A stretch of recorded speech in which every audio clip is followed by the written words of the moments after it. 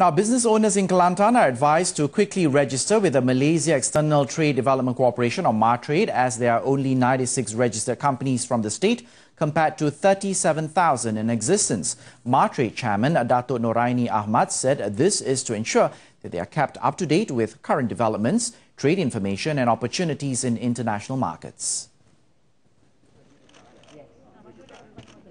The MATRADE chairman said entrepreneurs in the state are needed to be bold in exploring the overseas market in making use of the available resources given by the government through MATRADE.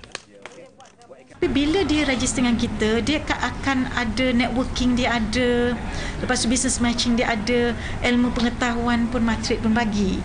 Uh, bila dia dapat tu mungkin confidence level dia akan tinggi dan dia mungkin uh, akan lebih uh, lebih fokus dan lebih uh, ke arah hadapan. She said this after the official launch of the Explorers Forum MATRADE 2015 program in Kota Bharu. It was officiated by Deputy Minister of Regional and Rural Development, Dato Ahmad Jazlan Yaakob.